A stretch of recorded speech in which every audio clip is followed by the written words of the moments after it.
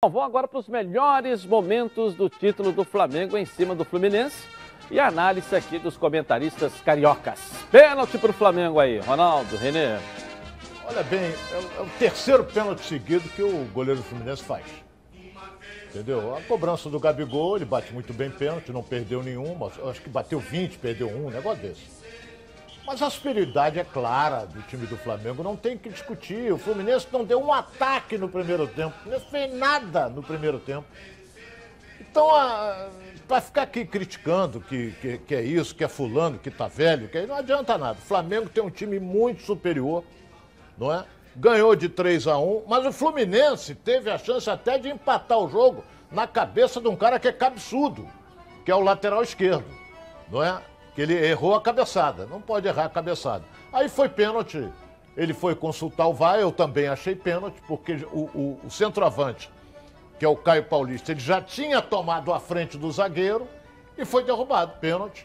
E o, e o Fred bateu e, e fez o gol. Mas foi merecida a conquista do Flamengo. Primeiro, fez uma campanha melhor e segundo, que tem um time muito melhor que o do Fluminense. Você falou Caio Paulista, Rodrigo Caio, né?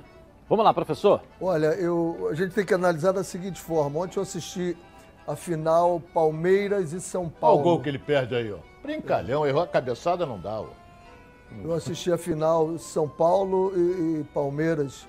Não tem nenhum time do Brasil hoje que tenha os 10 jogadores, os 10 jogadores que joguem futebol redondinho como joga o Flamengo. Você pega os 10 jogadores do Flamengo, você não encontra um que diga assim: esse cara é um pouquinho cabeçudo, esse cara é um pouquinho. Não, são os 10. E aí, quando a bola rola, os 10 jogam ao mesmo tempo, o que não acontece com os outros times. O que acontece com o Fluminense, quando o Fluminense tem a bola, não são os 10 jogando tão redondos. Alguns jogam muito e redondos, outros jogam, são esforçados, Aí faz toda a diferença na hora do jogo. O Fluminense não consegue sair. O Fluminense fez até algumas pressões em cima do Flamengo, adiantou, dificultou, mas o Flamengo saiu tocando em cima da pressão.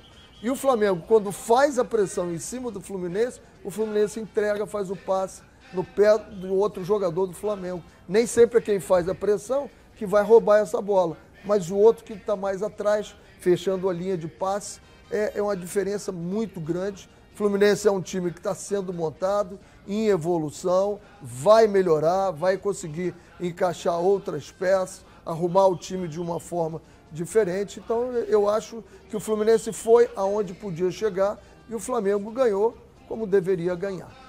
Fala, Ronaldo, mais sobre o jogo aí. Olha bem, é, é, é segundo tempo. O Renê falou uma coisa que nós já tínhamos dito aqui há algum tempo. O Flamengo é o melhor time do futebol brasileiro. Não tem um time no Brasil que é melhor do que o Flamengo. Ah, São Paulo, Palmeiras, não é melhor do que o Flamengo. Os dois, o São Paulo está jogando um bom futebol, o Palmeiras tem bons jogadores, mas o Flamengo é melhor do que o Pode perder, porque no futebol tudo é Pode. é possível. Nós até comentamos que esse jogo aí, tecnicamente, se o Flamengo tivesse 100%, e o Fluminense tivesse 100%, daria o Flamengo. Daria o Flamengo. Só numa estratégia, né? Uma coisa se, diferente. Se o meio-campo do Flamengo, dar. a minha opinião é a seguinte: se o meio-campo do Flamengo jogar, porque só tem, são os quatro são talentosíssimos, se eles jogarem bem, ninguém ganha deles. Ninguém ganha deles. Agora, quando um, um distou um pouco, o Everton Ribeiro distou, distou um pouco o Arrascaeta, aí já fica complicado. Não, e nós dissemos aqui, eu acho que... eu, nós dissemos aqui o seguinte, Flamengo vem com quatro no meio-campo. Fluminense vem com três.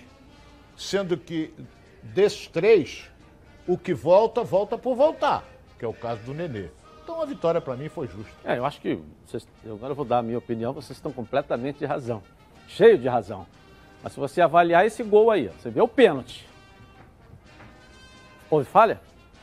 Falha de quê? No pênalti. Perguntando se houve falha do Fluminense no, no pênalti. Gol do Flamengo? É, no pênalti. A saída foi atabalhoada do goleiro, no meu modo de ver. Então houve, houve uma falha. Mas todo gol é uma falha. Estou perguntando se houve uma falha. Estou te perguntando. Estou falando desse gol. Foi uma falha ou não houve falha? Foi, foi. O segundo gol do Flamengo, no chute do Gabigol, houve alguma falha? Houve. Houve uma falha. Então o Flamengo foi muito superior ao primeiro tempo. Mas ganhou de 2 a 0 por duas falhas do Fluminense. Não foi isso que vocês estão falando? Mas aí, Aí você vem pro, Não. seg- aí você vem pro segundo Nós tempo. não estamos falando Não, isso. estamos falando Não, isso. falando Quem está isso. falando isso é você. falando Não, estou perguntando. Não, você está perguntando, nós estamos respondendo, mas não estamos É infinitamente falando, superior. Nós estamos falando que não o um Flamengo chute, ganhou não deu um por chute a gol no primeiro tempo, né, Renê? Não deu um chute a gol, não teve um Se o Fluminense favor, não falha nos dois gols, o primeiro tempo termi- terminaria quanto? Porra, mas aí tu não pode analisar futebol tô assim, Edilson. Como é que não pode, Ronaldo? Estamos Assim falando de falha. não- Futebol não Como é se não? analisa Cada assim. um tem uma análise. Se você Como é tá que não em cima, pode? Em cima, em cima, em cima, Como é que não pode? Cada um tem uma análise. Falha, não, porra. É, Claro Não, que que pode. discutir. Cada um analisa da maneira que achar melhor. então. E se Você o- tem duas se o falhas. Flamengo não tivesse. Duas falhas.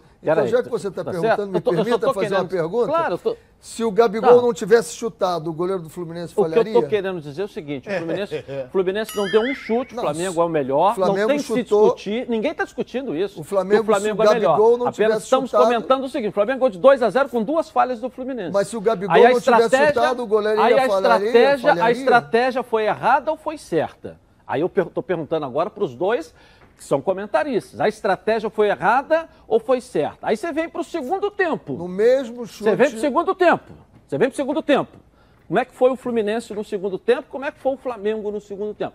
São perguntas que eu estou fazendo para vocês, para que a gente possa chegar num denominador comum e analisar aqui dentro do programa. Só Estou existem fazendo as falhas. perguntas, entendeu? Só existem as falhas quando alguém proporciona Isso, um ataque.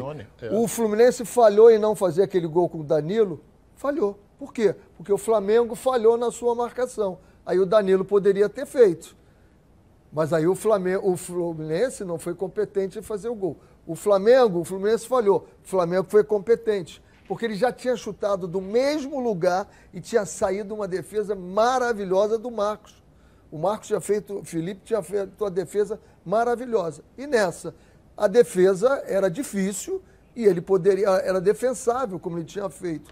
Mas se não tem o chute, se o Flamengo não chega na frente, não tem essa falha. Tá, mas a nível de estratégia, estou perguntando estratégia. O jogador chutar não é. É normal o Flamengo chutar, o Flamengo final, o Gabigol finalizar. Eu estou falando a nível de estratégia, como foi Mas dito. uma hora- quer uma dizer, o hora- Ronaldo comentou que o Fluminense não deu um chute a gol, mas a estratégia foi errada no primeiro tempo. Eu estou perguntando. Eu estou Olha aqui bem, para perguntar. é, eu, eu- eu né? não vou culpar a estratégia, Não, eu não eu vou culpar a determinação e também o- um detalhe importante, o Flamengo não deixou o Fluminense jogar. Eu não sei se o Renê vai concordar, não deixou. O Fluminense não passava no meio campo.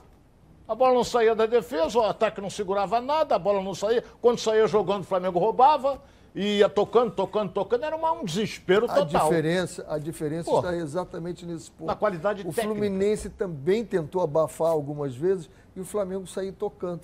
Teve um lado direito lá com o Felipe Luiz, tinham três do Fluminense, ele tocou. No início do jogo, To- né, é, Foi, no início foi, do lembro. jogo, tocou, Foi. tocou, tocou, saíram jogando. Essa é a diferença. O Fluminense não consegue sair jogando porque não tem essa qualidade ali atrás. A qualidade do Flamengo para sair jogando é espetacular. Essa é a O, o diferença. Edilson tocou num assunto que os dois virou 2 a 0 primeiro tempo, duas falhas.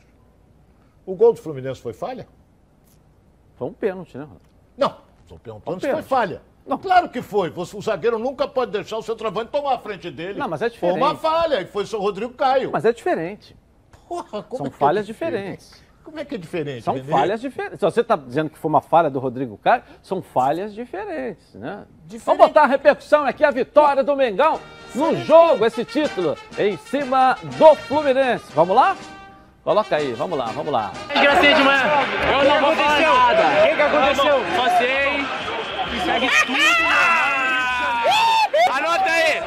Fortalece a prateleira aí que tá chegando mais um. Mais um, né? Rei, do Rio. Já é. Tudo normal no Rio de Janeiro. Jogaram como nunca, perderam como sempre. Nação, muito obrigado pelo apoio de vocês, muito obrigado por tudo e podem comemorar mais um título. Vocês merecem. Mais um, hein? Mais um. Legal,